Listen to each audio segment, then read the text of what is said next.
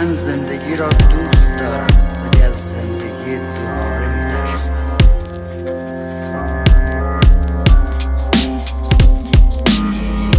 ناتوان از بام نفس از خزانه افسانه قرض گرفتم زندگی رو.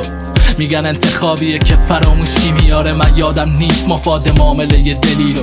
پس بحث باز خواسته تجارب پس میشه وقتی قصه پروانه های عاشق دروغه.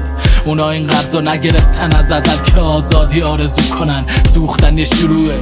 شروع کی مهم نیست پایان چی مهمه؟ اون چیزی مهمه که قد نمیده به علمت. به دیده ها اعتماد نکن شنیده ها خبر از زوال میدن. آدم ای آدم نجوا کنم سبز طبیعت خار میشه. به ریسمان حوث شوق بقا میگن آدم. آخ.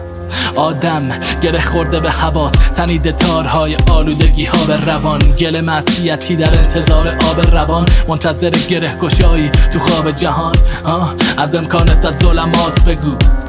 از پشت پرده های مات بگو. نبوده رو ببین به بودن و راست بگو. از فرق بین الف و و از کاه به کوه.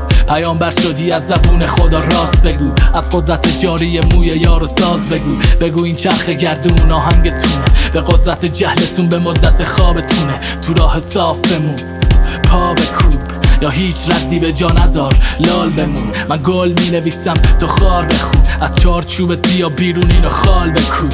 وام نفس صاف نمیشه با امالمون ولی یه روز میاد می‌گیره کارمون.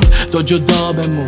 این زمینی یا کفر میگن دینشو بهشون از خدا بگو. اینا واسهشون کافیه نشونی از دار. اینا آسمون ندیدن. از بال بگو. از ابرای تیر تار پس نقابت. از خط کج کجدانگو جای نگاهت از دینت به ما از فاصله ها تو شکافت. از فراموشی درد کل ادوارت. حالا به خواب وقت سلطه بیگانه هاست. گل می نویسم تو خار بخون.